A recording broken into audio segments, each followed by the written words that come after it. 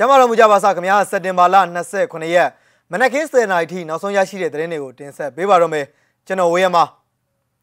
စကိုင်းတိုင်းဘက်မှာတော့စစ်ကောင်စီတပ်ကလူငယ်3ဦးကိုပြစ်တက်ပြီးဒဏ်ရာရရှိတဲ့သူတို့ကိုဖမ်းဆီးခေါ်ဆောင်သွားတယ်လို့သိရပါတယ်။တာယာဝတီအဝင်မီနင်းချောင်းဂိတ်မှာတော့ဝင်ခွင့်နေပိတ်ပြီးရာနဲ့ချီတဲ့ရင်တွေစောင့်ဆိုင်နေရပါတယ်။ကလေးမျိုးနီတိုက်ပွဲမှာစစ်ကောင်စီတပ်ဖွဲ့ဝင်3ဦးထပ်မံသေဆုံးပြီးဒဏ်ရာရရှိသူတွေလည်းများပြားတယ်လို့သိရပါတယ်။ ဒီသတင်းတွေနဲ့အတူဒီကနေ့မနက်ပိုင်း10:00နာရီထိနောက်ဆုံးရရှိတဲ့သတင်းတွေကိုတင်ဆက်ပေးမှာတော့မယ်ခင်ဗျာပထမဆုံးအနေနဲ့တင်ဆက်ပေးချင်တဲ့သတင်းတစ်ပုဒ်ကတော့စကိုင်းတိုင်းရင်းမပင်မြို့နယ်ဗန်ဘွေးအုပ်စုကန်စုရွာနီးတောပြင်မှာရှိတဲ့နေအိမ်တစ်လုံးမှာညာကင်းဆောင်ပြီးအိပ်ပျော်နေကြတဲ့လူငယ်၃ဦးကိုမနေ့ကစက်တင်ဘာလ26ရက်မနက်ပိုင်း6နာရီဝန်းကျင်အချိန်လောက်မှာစစ်ကောင်စီတပ်ကတနက်နဲ့ပြစ်တက်ပြီးကြည်ထိဒဏ်ရာရသူတဦးကိုဖမ်းဆီးသွားကြောင်းဒေသခံတွေထံကသိရပါတယ်။ သူတို့ကအဲ့ဒီတောပြင်ကအိမ်မှာရှိတဲ့လူတွေကိုတတ်ပြီးအိမ်ကိုမီးရှို့လိုက်ကြတယ်နောက်ပြီးလက်နက်ကြီးတွေစက်တနက်တွေနဲ့ရမ်းပြီးတော့ပစ်တာပြီးတော့အုပ်စုနှစ်စုခွဲပြီးရွာထဲကိုဝင်လာကြတယ်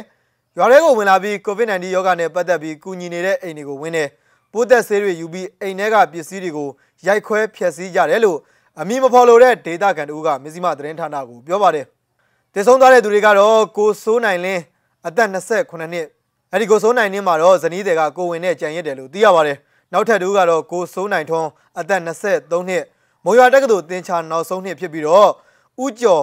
အသက်30နှစ်တို့ကိုလည်းတက်သွားခဲ့တာပါတေဆုံးသူကိုစိုးနိုင်ထွန်းရဲ့ဖခင်ကတော့6ရောက်ကြီးထိမှန်ထားတဲ့ဒဏ်ရာနဲ့စစ်ကောင်စီတပ်ဖွဲ့ဝင်တွေကဖမ်းဆီးခေါ်ဆောင်သွားတယ်လို့သိရပါတယ်ရင်းမာပင်မြို့နယ်လင်းညင်းတောင်ပေါ်မှာအင်အား100လောက်စခန်းချနေတဲ့စစ်ကောင်စီတပ်ကနေအင်အား30ခန်းလောက်ဟာဗန်ဘွေးအုပ်စုကန်စုရွာတွင်းကိုဝင်ရောက်လာပြီးအခုလိုပြစ်ခတ်တပ်ဖြတ်မိရှို့သွားကြတာဖြစ်ပါတယ် ကင်းမဝစ်ပြီးစောင့်နေမှာကြောက်လို့အခုထိအလောင်းတော်မကောက်ရသေးဘူးခုလိုဖြစ်တာကဒလန်သတင်းပေးကြောင်လို့ထင်တာပဲ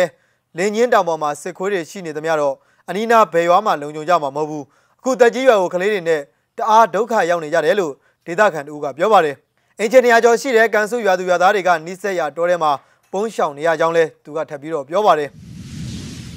နောက်ထပ်တင်ဆက်ပေးချင်တဲ့သတင်းတစ်ပုဒ်ကတော့ရန်ကုန်တိုင်းနဲ့ပဲခူးတိုင်းနယ်စပ်တာယာဝတီမြို့ဝင်ဂိတ်ဖြစ်တဲ့ မင်းင်းကျောင်းမှာစက်တင်ဘာလ26ရက်နေ့ည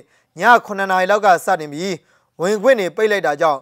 ရင်အစည်းရေ300ကျော်စောင့်ဆိုင်နေရတယ်လို့ခီးသွားတွေကမစ္စည်းမကိုပြောပါတယ်စစ်ကောင်စီတပ်ကကြိုတင်ကြေညာတာမရှိသလိုအကြောင်းပြချက်မပေးဘဲနဲ့နှစ်ဖက်ဖြတ်တန်းသွားလာခွင့်တားမြစ်လိုက်တာကြောင့်ခီးသွားလာတွေမှာအစားတောက်နဲ့နားခိုရာနေရာမရှိဘဲရင်းမမာသာစောင့်ဆိုင်နေကြရပါတယ်ဘာကြောင့်ပြချက်ကြောင့်အခုလိုလမ်းပိတ်ထားတာကိုလည်းမသိရကြောင်းခီးတဲ့အချို့ကပြောပါတယ်ခင်ဗျာ အဲ့ဒီအချိန်မှာမိုးတွေလည်းရွာနေတဲ့အတွက်ခီးတဲ့တွေဒုက္ခရောက်ခဲ့ကြရပါတယ်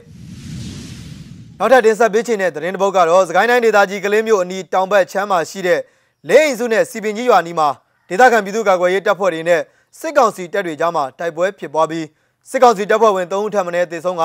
ဒဏ်ရာရရှိသူတွေလည်းများပြားခဲ့ကြောင်းကလေးပြည်သူ့ကာကွယ်ရေးတပ်ဖွဲ့ကစက်တင်ဘာ26ရက်ညပိုင်းမှာထုတ်ပြန်ထားပါတယ်။အကြမ်းဖက်စစ်ကောင်စီတပ်ဖွဲ့ဝင်အင်အား100လောက်ကကလေးမျိုးတောင်ဘက် ချင်းဆိုင်ရွာကိုဝင်ရောက်မှွေနှောက်ခဲ့ပြီးတာစီရွာကနေတဆင့်အနောက်ဘက်အရက်ကိုဥတီပြီးစစ်ကြောင်းခြိတက်လာခဲ့တာဖြစ်ပါတယ်။အဲဒီလိုခြိတက်လာခဲ့တဲ့စစ်ကြောင်းဟာလင်းအိမ်စုနဲ့စီပင်ကြီးရွာရောက်မွန်လွယ်2နာရီခန့်လောက်မှာကလေးပြည်သူ့ကာကွယ်ရေးတပ်ဖွဲ့နဲ့ချင်းမျိုးသားကာကွယ်ရေးတပ်ဖွဲ့တို့ကကြားဖြတ်ပိတ်ဆို့တိုက်ခိုက်မှုတွေလှုံ့ဆော်ခဲ့တာဖြစ်ပါတယ်။တိုက်ပွဲတွေမှာဂျမ်ဘက်စစ်သားအနည်းဆုံး3ဦးသေဆုံးပြီးအများပြားထိခိုက်ဒဏ်ရာရရှိခဲ့တယ်လို့ကလေးပြည်သူ့ကာကွယ်ရေးတပ်ကထုတ်ပြန်ထားပါတယ်ခင်ဗျာ။တိုက်ပွဲဟာ2နာရီကြာကြာမြင့်ခဲ့ပြီး အကြမ်းဖက်စစ်ကောင်စီဘက်ကလက်နက်ကြီးတွေအုံပြုတိုက်ခိုက်ခဲ့ပြီးစီပင်ကြီးရွာဘက်ကိုလက်နက်ကြီးတွေနဲ့ရန်တမ်းပစ်ခတ်ပြီးစီပင်ကြီးရွာကနေတဆင့်မြို့လှအင်တိုင်းကုန်းကျေးရွာတွေဘက်ကိုဆုတ်ခွာသွားကြောင်းသိရပါတယ်။တိုက်ပွဲမှာကလေးပြည်သူ့ကာကွယ်ရေးတပ်ဖွဲ့နဲ့ချင်းမျိုးသားကာကွယ်ရေးတပ်ဖွဲ့ကတပ်ဖွဲ့ဝင်9ဦးလက်နက်ကြီးထိမှန်ဒဏ်ရာရရှိခဲ့ကြောင်းထုတ်ပြန်ကြမှာရေးသားဖော်ပြထားပါတယ်ခင်ဗျာ။ဒီကနေ့မနက်ပိုင်းရဲ့နောက်ဆုံးသတင်းတစ်ပုဒ်အနေနဲ့စကိုင်းတိုင်းရင်းမပင်မြို့နယ်တဲကဆေးရနာရှင်စန့်ကျင်ဖြုတ်ချရေးတ ပိတ်စစ်ကြောင်းတစ်ခုကိုလည်းဖွင့်ပြပေးချင်ပါတယ်ခင်ဗျာ။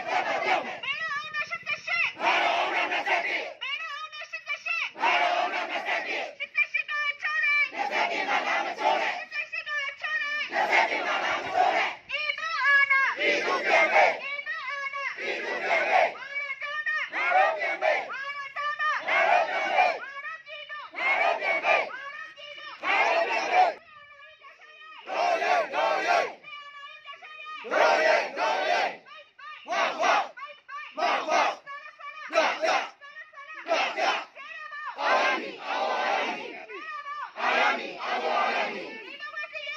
Awani, Awani.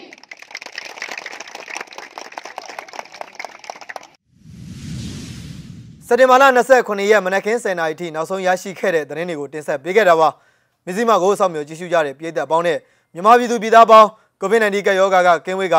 စစ်အာဏာရှင်စနစ်ဆိုးလက်အောက်ကအမြန်ဆုံးလွတ်မြောက်ပါစေကြောင်းဆုမွန်ကောင်းတောင်းလိုက်ရပါတယ်။ထူးခြားတဲ့သတင်းတွေနဲ့အတူကျွန်တော်တို့မကြခင်မှာပြန်လည်ဆုံတွေ့ကြပါမယ်ခင်ဗျာ။